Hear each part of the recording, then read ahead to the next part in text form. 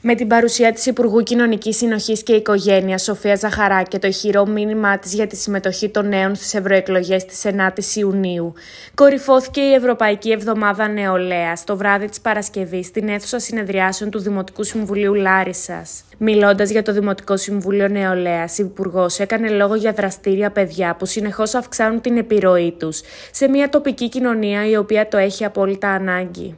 Είμαι με μεγάλη χαρά στην ε, συνεδρίαση, στην εκδήλωση, στην ανταλλαγή απόψεων με το Δημοτικό Συμβούλιο Νεολαίας εδώ στη Λάρισα, δραστήρια παιδιά τα οποία συνεχώς αυξάνουν την επιρροή τους σε μια τοπική κοινωνία η οποία το έχει απόλυτη ανάγκη.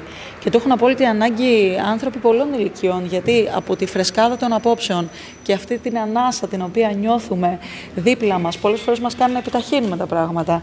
Ε, και εμείς που έχουμε αυτή τη στιγμή τη μοναδική έτσι, τιμή να μπορούμε να αποφασίσουμε πράγματα, παίρνουμε έμπνευση.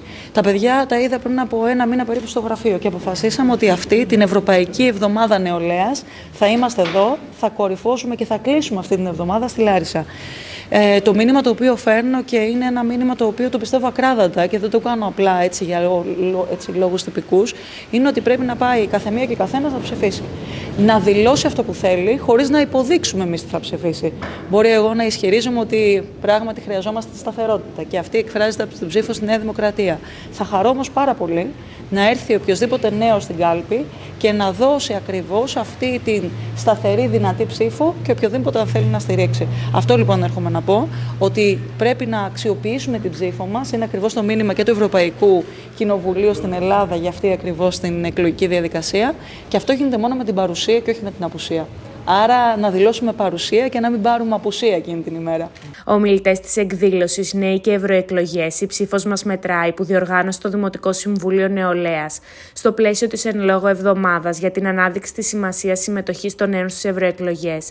Ήταν επίσης ο Κωνσταντίνος Γκάγκος, η Ευρωδίκη Μίλιου, ο Νικόλαος Οικονόμου και η Παυλίνα Εόλου.